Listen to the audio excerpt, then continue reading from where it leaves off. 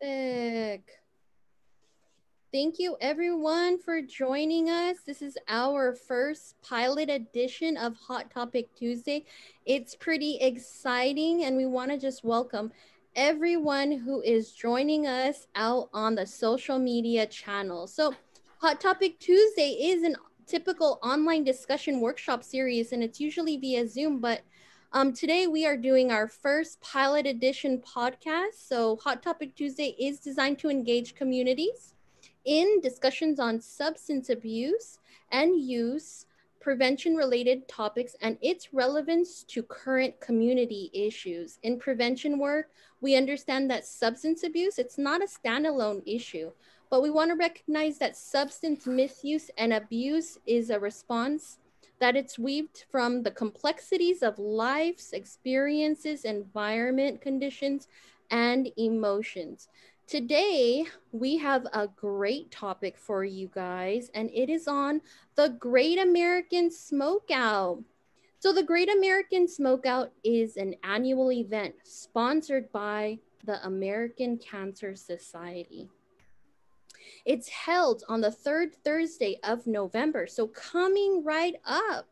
And it is an event that focuses on encouraging Americans to quit tobacco smoking. The message is sent to challenge people to stop smoking for at least 24 hours in hopes that this decision will lead them to quit smoking forever. The first American smokeout occurred in California on November 18, 1976. According to American Cancer Society data, nearly 1 million people stopped smoking on that day, making it a perfect occasion to take the first step to quit smoking. Hello, everyone. My name is Jessica Abaya, and I am the community organizer assigned in the Gardena area. Today, we're going to present again the Great American Smokeout. This is, of course, a pilot podcast edition. So we hope you tune in for the full hour to great get some great information and great personal insights into quitting smoking. I will go ahead and pass it on to my co-moderator, Miss Tiffany Tan. Thank you, Tiffany. Hi, everyone. Thank you so much. Um, we wanted to invite everyone and welcome everyone. My name is Tiffany Tan. I'm a community organizer uh, with AADAP, and I work in the city of El Segundo, and I also assist in Carson. Uh, I'd like to introduce uh, another coworker of mine, um, Ms. Carol Almeida. Yes, thank you, Tiffany. Thank you, Jessica. Good afternoon, everyone. My name is Carol Almeida, and I, just like Tiffany and Jessica, I work as a community organizer for the Community Prevention Unit of the Asian American Drug Abuse Program, or popularly known as uh, AADAP. And uh, uh, the three of us primarily focused on uh, the tobacco tobacco work, you know, prevention work.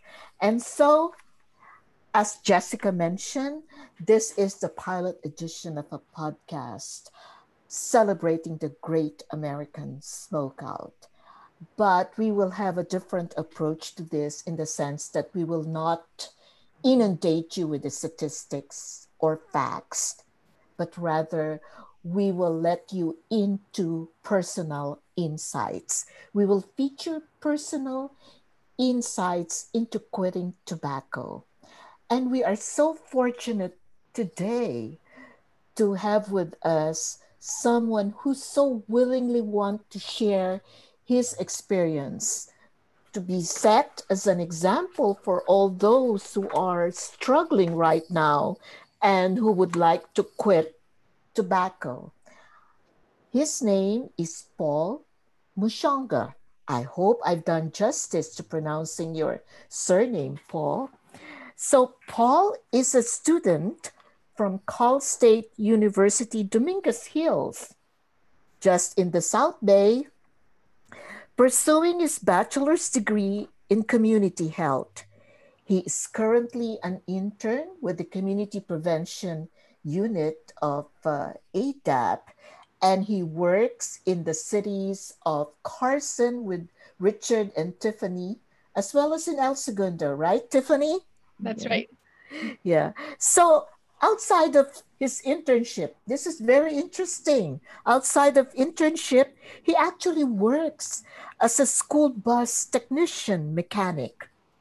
Imagine, school bus technician mechanic, and enjoys listening to music, exercising, and learning to play the guitar during his free time. So let's try to listen. Okay, very interesting. Let's try to listen to his journey towards a tobacco free and healthy lifestyle. So uh, I will again bounce it back to Jessica for the for the initial set of questions that she will ask Paul. Jessica, please. Thank you, Carol, for the nice introduction and welcome, Paul. So we have a couple questions, but my first question for you, Paul, is at what age did you start to use tobacco? What was going on in your life that drove you to use tobacco? I, I would say I started smoking immediately after high school.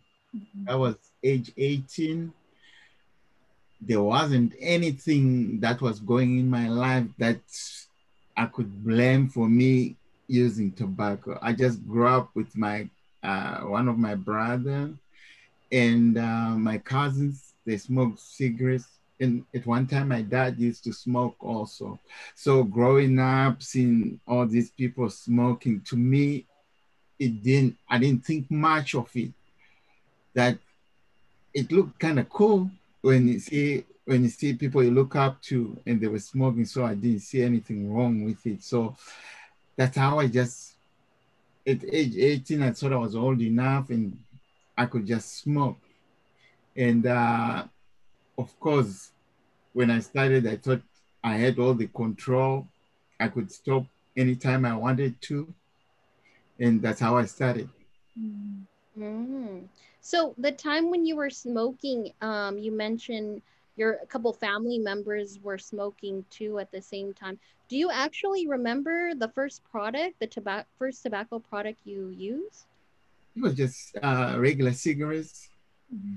and uh, so I just bought a pack of cigarettes and I started smoking, and um, that was that. That's how I started, and uh, it wasn't like you know, any big deal at all. It's mm-hmm. I just looked at it, uh, saw everybody smoking and they look cool. I said, hey, why not? You know. Mm-hmm. Did it ever cross your mind that you would become hooked on the product, or did you think you would be able to take one cigarette and put it down? And that's the it's for me that was the biggest thing because you see, I thought I will smoke whenever I want to and I'll stop whenever I want to. But I, I soon found out that wasn't the case. And uh, because once I got hooked, I think it took me what within three weeks. In the beginning, of course, yes, I smoked whenever I wanted to. And uh, before I knew it, three weeks later or so, I was smoking because I had to, because you know, all the time I had the age of smoking because you see, after eating, or like just to relax when you know when I'm tired, or like when I'm stressed out. Because you see, for me, cigarettes were fixing everything that was going on in my life. If I was angry, I'll smoke. If I was tired, I'll smoke. And uh, after eating, I'll smoke. So that's how I got hooked and um, and that's how it started. Mm-hmm. Yeah, it's so interesting. You brought up a good point. Uh, oftentimes we want to think about who introduces you to your first uh, cigarette. Um, and I like how you mentioned that it was someone you knew. It was your family. Yep. you know, oftentimes we get like this, um, you know, idea that there's this uh, scary drug dealer in the corner of the school handing out free cigarettes. But really, that first initial hook, that first introduction, comes from a person we know and we trust. And in your case, it was your family. Mm-hmm. And it, seems like it was almost normalized in your family to see people smoke. It, um, it, it was because you see, I didn't see anything wrong with it, and mm-hmm. nobody saw.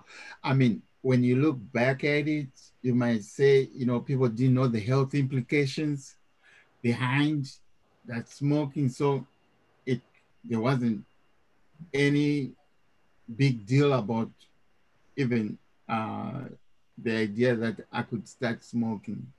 Yeah. Yeah. yeah.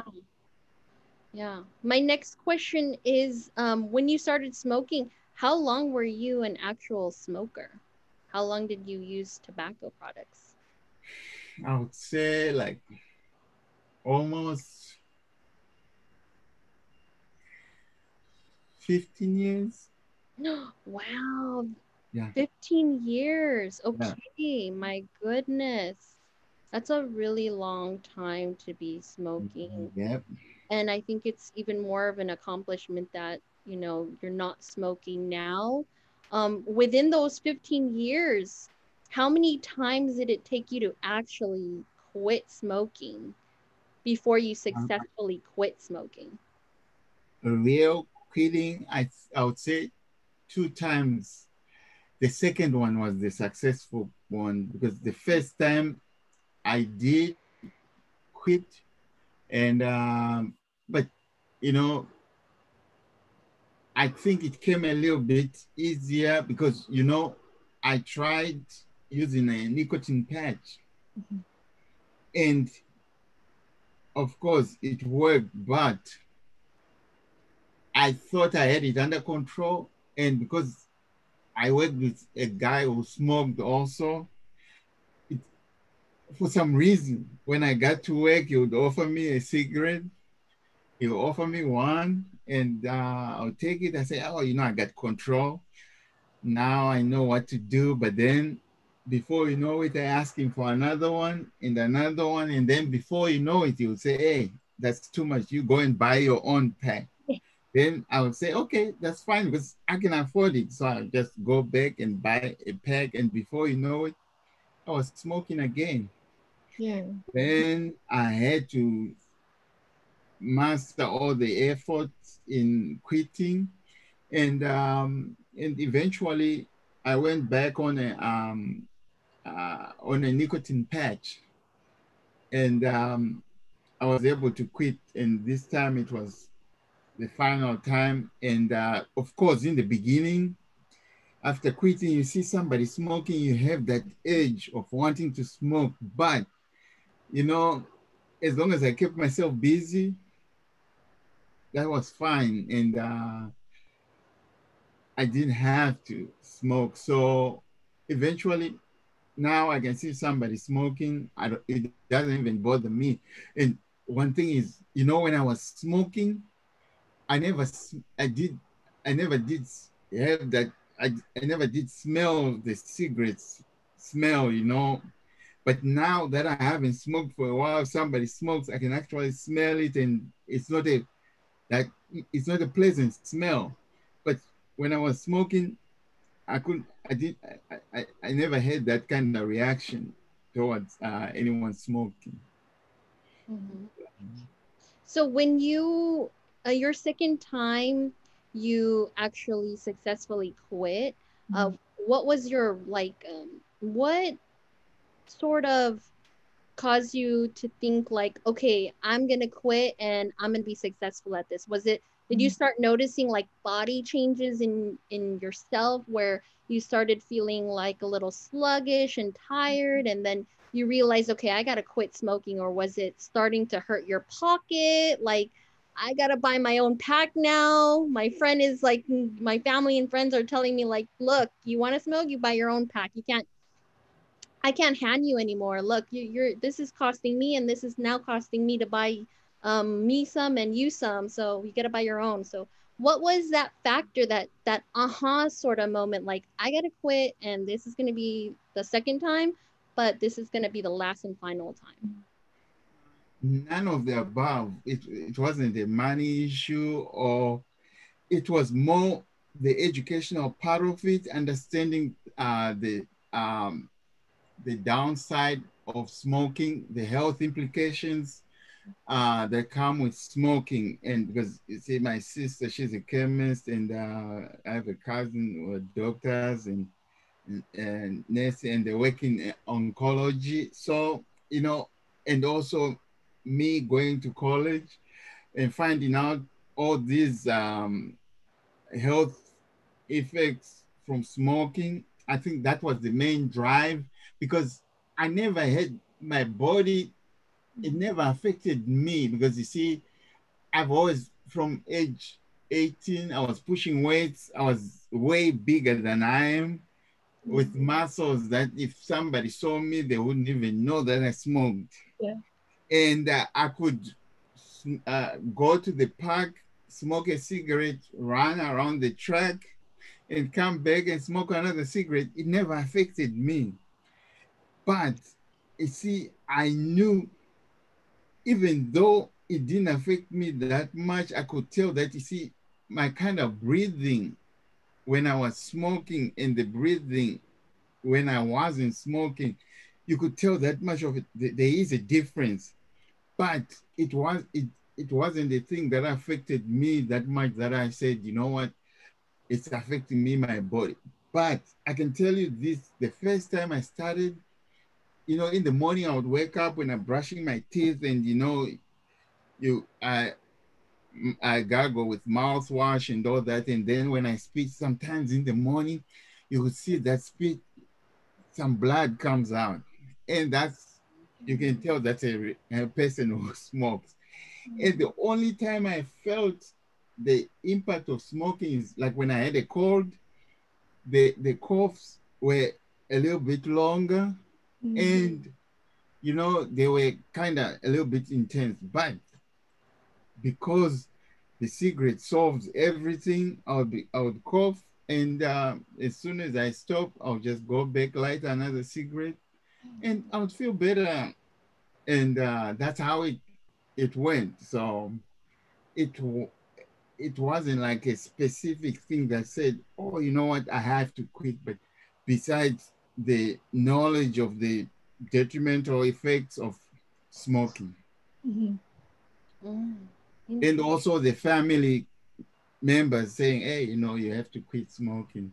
But you see, they didn't kind of beat up on me and saying, you have to, you have to.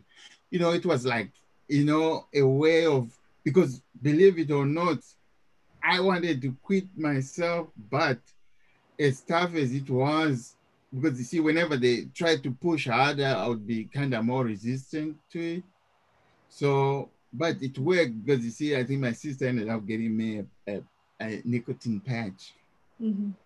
And they said, hey, you can try this. And of course, that's how I got it first time. And um, so, and the second time I used it and, and it worked both times. So that's why, uh, because anything else, I don't know if I would have been able to quit without the uh, nicotine patch.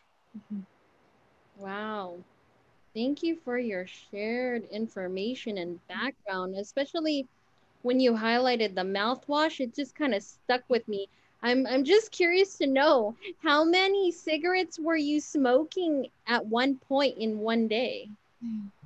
Well, that's the thing. It depended. Like if it's a long day, busy time, like maybe 10 cigarettes, the most maybe like 12 or 15, the most if I stayed uh, late at, out at night, you know, but otherwise 10 the minimum.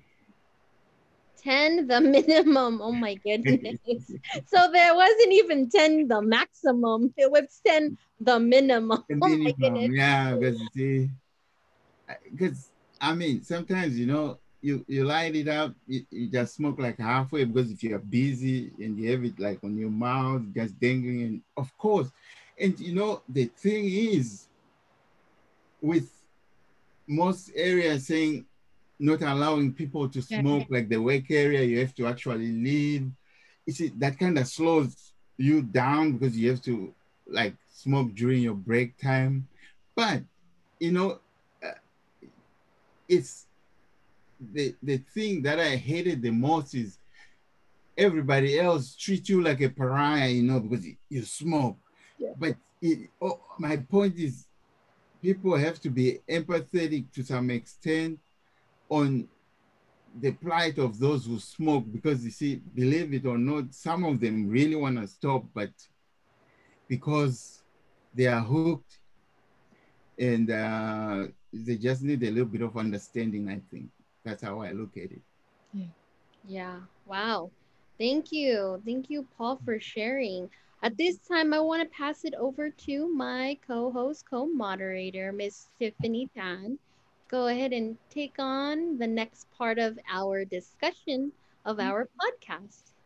Thank you so much. Um, actually, Paul, if you can kind of go back, you mentioned you had your family, um, you had the well, you had the support of your family, and you also started feeling, you know, a heavy breathing. Um, when you were sick, you were really, really sick. When you were coughing, you were really, really coughing. Mm-hmm. Um, again, when you were just doing your daily hygiene care, you kind of saw some some alarming issues, mm-hmm. um, so to speak. But what at what point did you realize, hey, Paul, myself, or in the speaking of you, hey, I have to quit smoking? What was there a defined moment? Was there, you know? You see, mind, mind you, where all this started when I was in Africa, right? When I started smoking. So by the time I, came over here, mm-hmm. and um, I just from listening to the you know to the news and going to school and learning about all these mm-hmm. things that's when i started knowing that you know it wasn't a good thing smoking health wise but for a while i still smoked because you see the thing is coming up with a way of quitting smoking because i remember i worked with this other girl she used to smoke and then she told me she was able to use hypnosis for a while and she was able to quit smoking. But see, I never got the chance to try that. So I just kept on, you know, I would like sometimes try to cut down on the amount. Yeah. You can only do so much because you see, then your body needs that nicotine. And uh, so sometimes you see, and a little bit of stress, and you tend to smoke a little bit more because that cigarette is what kind of mellows you out because you see you are ang- let's say you're angry you smoke a cigarette you kind of kind of cools you down mm-hmm. you know you get mellow and uh, so it kind of relieves the anger or if you are tired you know you just relaxing and yeah. um, you know it helps you relax mm-hmm. so that's I think that's the re- that's what makes it harder to quit because you see it's solving all these issues that mm-hmm. everybody has in their lives almost every other day or every other week, I guess, because life being what it is, you yeah. know, sometimes we stress out, sometimes we get angry, sometimes mm-hmm. we are under pressure at work and all those things. And yeah. they, they all actually make it harder for those who might want to quit smoking. I can talk for me. That's yeah. why it was harder. Yeah. Would you say, and you mentioned something that says like it solves, would you say like solves temporarily? May, if I could kind of explain temporarily. That's the, that's the issue because you see, you, it solves it temporarily, yes, because, but eventually, let's say if it's a problem that's there, it's a it's solving it temporarily, but tomorrow that problem is going to be mm. there. But I understand. The point is for me to go through that situation right at that time, mm-hmm. it was what did it? It solved mm-hmm. it. Mm-hmm. Even though it wasn't a permanent solving, but you know. Yeah. Wow, Paul. And so you mentioned that it was actually your sister who gave you your first nicotine box, your first nicotine patch. Is that correct? Yes. Now, can you can you walk me through that? Um, how do nicotine patches work? What are they? Um, how was it for you? What were the levels? If you can explain on that, how did how did nicotine patches help you eventually quit? Okay, so the nicotine patch, I think there are three sizes. Mm-hmm. When I say sizes, we are talking of the amount of nicotine in each of them. Right. You see, the first one, because you see, it depends on the level of a smoker you are. Because me, I would consider myself that I was a heavy smoker. Mm-hmm. So I started on the 21 milligram, which is okay. the highest.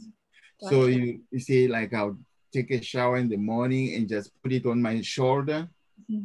And the beauty of it, you can go to work, like me working on buses, I would go mm-hmm. underneath the bus and everything no problem. It doesn't come off. Yeah. Or during the day, it's uh, releasing that nicotine through the uh, in, through the skin yeah. into the body, mm-hmm. and uh, I would leave it on. And in the evening, I could even take a shower, and it stays mm-hmm. on.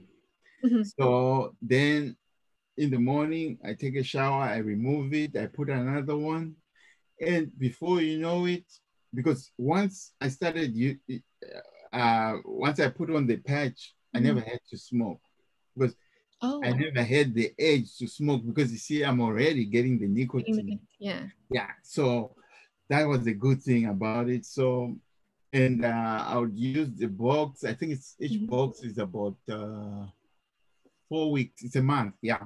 Uh-huh. Then it's after that if you're still feeling like you have the age, mm-hmm. go to a 14 milligram. 14 And the 14 milligram is another uh, four weeks. Mm-hmm. And then a seven milligram. But the first time I mm-hmm. only used the 21 milligram and I was able to quit then. I would say like I quit for what? Almost a month. Mm-hmm. But then I think it was too early when I thought I could just smoke one, you know, just to bond with the guys at work. And uh-huh. then before I knew it, I, I was hooked again.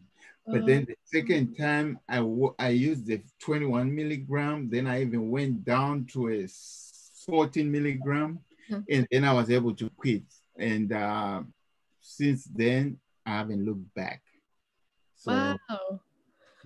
Yeah and no sense of mood swings when you were wearing these. Um, oh, that's the thing. Any nuisances that bothered when, you? Or? When you are trying to quit, uh-huh. you get so angry so quickly. Yes, a lot of mood swings, a lot. And but I mean, the thing is, I was so determined to quit mm-hmm. that I went through it.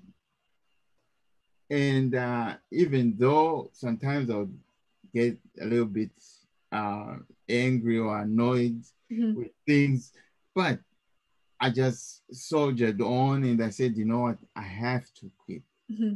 And because I was just determined that I, I had to quit and um, I was able to overcome it. Yeah. But definitely, definitely you get those mood swings because, yeah, because your body is for that nicotine and mm-hmm. you're not providing it with it. So, mm-hmm. yes, wow. definitely. Did you have a support? So, you mentioned your family again. Did you have a support group that you can call and say, hey, I'm really going through it? Or, you know, today's one of those days. Did you have maybe a buddy that was also trying to sm- uh, quit smoking alongside with you? Or, you know, who was there for you? Not at all. Uh, I was on my on, on it by myself, and um, I, I just had to do it by myself. Your own soul determination. Yeah. Oh. I just I just uh, I wish I had somebody who I could have uh, gone through mm-hmm. with it. Um, but no, it was just me, just myself what did you ever give yourself like mental talks like how did you again it's it's your determination and i, I really applaud you for that but how how, it was just your drive your determination to it was just drive just saying mm-hmm. i want to quit because yeah i mean and wait, that's one thing I think happens with a lot of people. And then, you know, now when I look at it, I I look at my journey, what I went through when I was smoking cigarettes, right? Then I look at those people who do all those heavy drugs. Mm-hmm. Now I can empathize with them on what they go through mm-hmm. to try to to get rid of that addiction because I look at it and say, oh, me, I just had problems smoking cigarettes. They are going even through something that's even uh, more deadlier, mm-hmm. I guess, in my mind. So, I mean, I think that's why I was able to push myself to quit because, but it, all I, I, I can say about that is at least people should be more empathetic, you know, when somebody's is or if you're telling somebody to quit, yeah. you, you have to understand that it's not that easy. Mm-hmm. But all you can do is trying to encourage somebody, not beating up on them to say, oh, you have to quit, you know, it's, it's, it's cigarette smell and all that. Yeah. Because that you are, it's like you're attacking them and what what do we do when we feel like somebody is attacking us? Then we, we, we put a defense, right? Yeah. And then I'm not going to listen to you mm-hmm. because I feel like you're attacking me rather than if you're telling me in a nice way and being a, more constructive, then I'm more inclined to listen to you because I don't want to disappoint you either mm-hmm. because I know you are empathizing with me. Yeah. Yeah. Yeah. And I've, I, even I've had this talk before and I take it to heart now. Um, I agree. I was actually on that side where I was maybe badgering somebody, someone who I love, someone who I cared about. And then now I've taken a step back. I've gone a lot older and I realize it's the empathetic aspect of it. It's the, well, I'm always there for you whenever you are ready. So I've taken what you've said genuinely to heart and I'll always remember this. And I hope that the person that I'm also trying to in some way, shape, or form convince them to quit, um, I hope that I can get back to you and let you know, hey, that person did quit. So I'm hoping on to. That's all the questions I have. I really, Carol, do you have any questions on your end? Yes. I mean, Paul, it was so beautiful. I mean, your account, it's so detailed. You know, it's for me, it's just like going through a formal intervention program, you know, we're in I mean, the, you put it out so well, the struggle and everything. And my God, thank you for for sharing that. Um, I only have just a question, like, what would have prevented you from using tobacco, mm-hmm. so that you don't need to go through this uh, painful or through this struggle? Mm-hmm. I mean, from the very start, could you say something about what could have prevented you from the, using tobacco? The thing that I, I really think would have worked, would have prevented me from using tobacco from the beginning mm-hmm. is what I ended up finding out a little bit later on, which is education and oh. education and education. That's if I had known, especially the health implications of smoking, the mm-hmm. adverse effects of uh, that tobacco, I mean, I don't think I would have even started smoking at all. Wow. Mm-hmm. Wow. Thank you. Thank you for that. Education. Yeah. Education. Yeah. So, what would your message be? I mean, especially to a young person who is considering of using tobacco or even the emerging products like electronic cigarettes. So what will your message be? How will you talk to, to this somebody? Uh, my message to them would be when I started smoking, I thought I had all the control in the world. I can stop when I want to and all that. But I found out that's not true. Addiction is a very strong thing. And besides that, smoking can damage your health and it's something that you can never be able to reverse because you can have all these uh, diseases that are caused from smoking. So what I would say to young people is don't start smoking if you can help it because it will help you save your life. Mm-hmm. I okay, I'll try and put it this way. If you can, please do not smoke at all because it's not healthy. And uh, if you want to live a healthy life, smoking is not the best thing to do. Yeah, yeah. But you know what? Sometimes, especially for young people, as they say that the brain of young people is mm-hmm. wired that they don't realize the consequences, you know. So, so uh, it's it's really going to be a struggle, right? Messaging and putting out the right message and making people, you know, making people accept what you are telling them, you know, especially um, sometimes sometimes it's uh, it's easier to to uh, to uh, tell young people that or easier to sway them to tobacco use rather than to tell them that smoking is bad. Smoking is won't do you any good you know?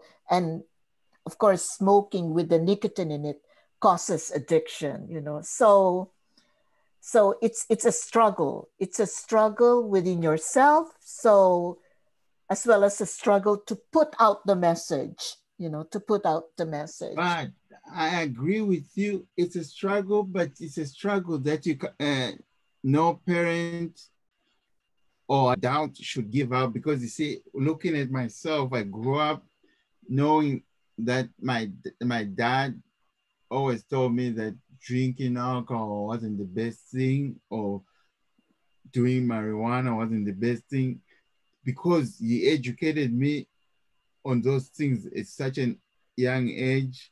Mm-hmm. I mean, I never, up to today, I've never drank alcohol. I've never used marijuana or any other drug.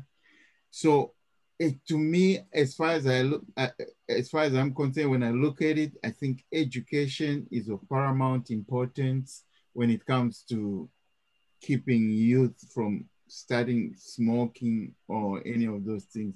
I understand we don't want to say, don't do this, but you see, I think especially youth, if you empower them with that, uh, in a way that they are able to make decisions yeah. and thinking for themselves and say, you know what, I, I before I smoke a cigarette, what what are my parents going to think about it?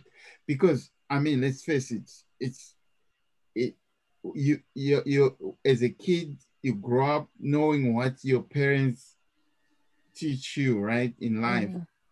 besides what your friends are going to teach you so because yeah. if your friends teach you how to conduct yourself out there. You're not going to have your friends influence you on doing anything because your parents have already imparted that knowledge to you growing up. So you won't there won't be anyone to fill that void because you already have your parents uh, uh, doing that job already. So yeah. Yeah, so education should start at a young age, you know. Exactly Yes, and it takes uh, parents, it takes responsible adults to carry that, you know, the uh, education in the formative years of a young, of a person's, uh, of a person's life. Beautiful, Paul. Thank you so much for sharing. It's so in depth, right? Thank it's you. so in depth, and we will always value that experience, your life experience, and in as much as possible, we'd like to share it with uh, with uh, with young people, especially. With, this is an educational piece, I would say. This is an educational piece, and thank you for for uh, sharing this and for uh, giving this appearance on Hot Topic Tuesday on our podcast. for you to daringly share your life story, your mm-hmm. life experience. Okay. So I think we need that, right? Jessica, Tiffany, we need that because right now, even with all the policies, even with all the with all the educational materials, you know, there are still how many? I would say uh, one in every five adults are still smoking tobacco. One in every five adults are still smoking tobacco here in the United States, you know. And against, uh, like, let's say, all our well intentioned uh, efforts to educate, to inform and educate against tobacco. The tobacco industry, the tobacco industry spends billions of dollars every year to advertise, to advertise and to lure young people to use because they always need generations of users in order to ensure profit for the tobacco industry. Okay. Mm-hmm. So, Jessica, Tiffany, would you like to add some more, some facts? Yeah. Actually, I think I got, I got, I grabbed a lot of facts from just hearing Paul, how he said that, yeah. you know, in in summarization, smoking leads to diseases, it leads to disabilities, harms, and it also just harms nearly almost every organ in your body. So that was something that unfortunately Paul had to kind of experience throughout his 15 years of smoking. Um, and then also, I think one big takeaway is that many adults who smoke cigarettes, they want to quit smoking. So I think hearing that from Paul's Paul's uh, uh, sharing experience, I think it's it's another fact to also highlight. Mm-hmm. yeah. Yes, and no additional facts and stats from me. I mean, I love the story you shared. It was very compelling from start to finish. You really just ex- thoroughly explained just the the struggle yeah. of a smoker, a day to day smoker, like the everyday struggles. You think about quitting, you can't because the stress of something happens to hit you on, let's say today is Tuesday, you know, and um you know the stress of tuesday happens and you think about quitting but you just don't because your pocket your hands reach into your pocket. You grab that cigarette and grab the lighter and the next thing you know it you just don't know you're outside smoking and you're just like man i thought i was gonna quit. But um you know kudos to you for quitting. It wasn't hard it wasn't easy. It was a very difficult uh struggle. Mm-hmm. and i want to say you know, thank you to your family for helping you. Yeah. I mean, family support is number one. You need to make sure that you yourself acknowledge you have an addiction, you have a problem, you're ready for step two of your journey to a healthy life. Yeah. The next step is that family support, and that's key because they're going to keep you online and they're going to keep you, you know, in check to make sure, hey, Paul, I know you're having a hard day, you're stressed out, but continue on those good efforts. Mm-hmm. Um, and successfully, you were able to quit smoking. Um, so, thank you for your story. Thank you for sharing your personal insights into quitting smoking. And if you guys are just joining um, us live from Facebook and watching us on Facebook, Instagram, and our social media pages, um, today was a pilot edition to our podcast on the Great American Smokeout, a Hot Topic Tuesday special. Um, and so, with this, I want to pass it over to my colleague, Miss Tiffany Tan, to give us some more information on great resources on how you can quit smoking today. Thank you. And again, once more, congratulations, Paul, on being able to quit smoking um, and never going back. so the some of the resources we want to share to you all um, is three resources, but there's many more. But the three that we wanted to highlight starts off with the California Smokers Helpline. This helpline offers free telephone counseling and materials to quit smoking, quit vaping, as well as even chewing tobacco. Um, free nicotine patches are also available and eligible to callers. These helpline counselors and services are also available in multiple languages, including English, Spanish, Mandarin, Cantonese, Korean, and Vietnamese. They're available weekdays from 7 a.m. to 9 p.m., as well as on Saturdays from 9 a.m. to 5 p.m. So whenever you are ready for, to quit smoking, please call 1-800-NO-BUTTS to enroll in free telephone counseling. And please feel free to visit www.nobutts.org for more information of their free services. Um, a second resource we want to highlight is actually is called ASH. ASH stands for Action on Smoking and Health.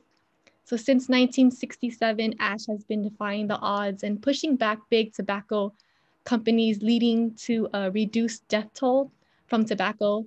They advocate for health over profits and also innovate leading legal and policy measures to end the global tobacco epidemic. Now, for more information and webinar series, uh, as well as news and events and resources, please visit their website, www.ash.org for more information. And one of our last resources that's actually one of the main leads for the Great American Smokeout is the American Cancer Society.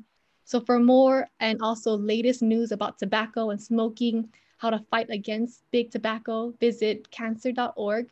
Their site includes smokeout materials, which also includes sticker sheets, quit cards, and also a variety of event tools for the Great American Smokeout, how you can participate, and alongside that, resources that can be used in your workplace, your health systems, and also other places in your, in your community.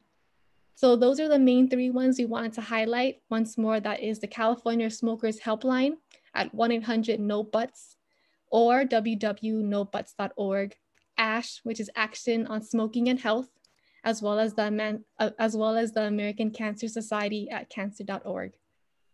All right, and now I want to pass it over to Jessica to conclude Hot Topic Tuesday. Yeah. All right. Thank you, Tiffany, for those great resources and information. And uh, again, of course, for additional Hot Topic Tuesday workshops it does happen every Tuesday. Please join us. We have wonderful upcoming Hot Topic Tuesdays coming up in the month of December. Check us out for December 1st. We have World AIDS Day, December 8th, drug use and mental health, and so much more. We hope to see you guys again virtually on social media Facebook, Instagram, on many more wonderful podcasts like the one you have seen today. Again, we have more uh, community organizers that work out in AADAP. We are just one of few that work at AADAP. And so if you're wanting more information and resources on substance abuse, how to quit smoking today, please reach out to um, the wonderful folks in the South Bay area. We have the lead organizers, uh, Jeannie Shamatsu, our project coordinator, and Miss Carol Almeida, our pro project coordinator on the tobacco team.